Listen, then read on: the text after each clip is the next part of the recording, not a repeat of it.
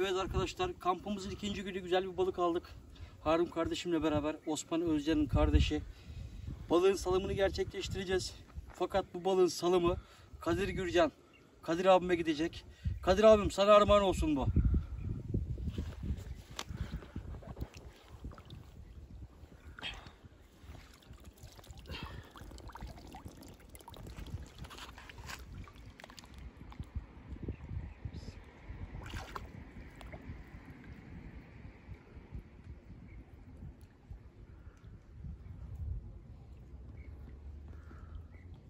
Haydi güle güle.